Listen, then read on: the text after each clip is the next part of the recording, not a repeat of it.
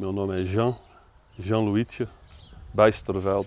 Nós estamos aqui desde 84. Estamos aí produzindo soja, milho, feijão, entre outras culturas. Também já tivemos uma época que a gente produzia cebola, cenoura, batata, beterraba. Desde 84 enfrentamos muitos obstáculos, né?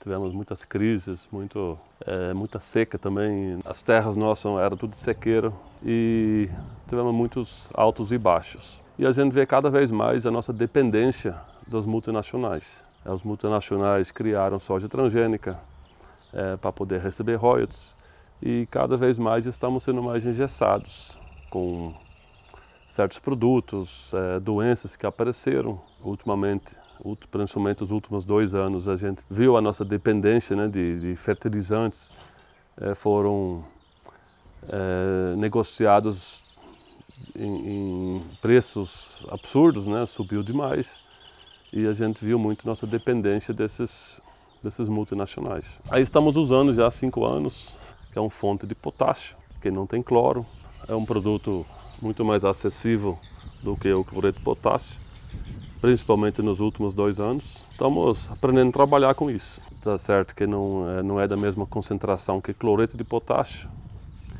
que é 60%, a Verdes que é 10%, né? Só que mesmo aplicando seis vezes a mais a dose, ele se torna um produto mais barato. Então a gente evita o uso de cloro para evitar matar a vida microbiológica no solo. Começamos a usar o produto da Verde por um preço eu acho um preço acessível, um preço justo. Vamos, estamos todo ano analisando os resultados aí.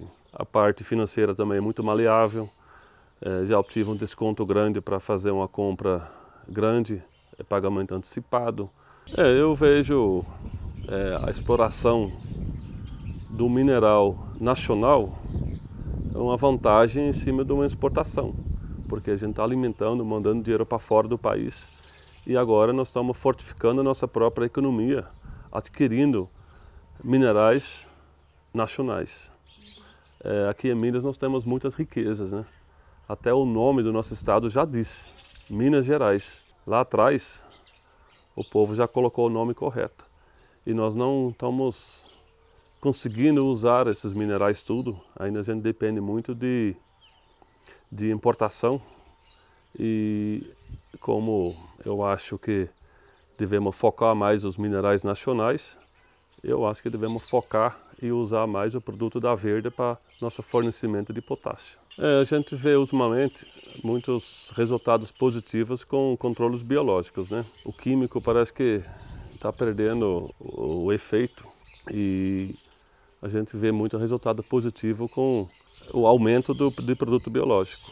Nesse programa aí encaixa o verde, o produto da Verde.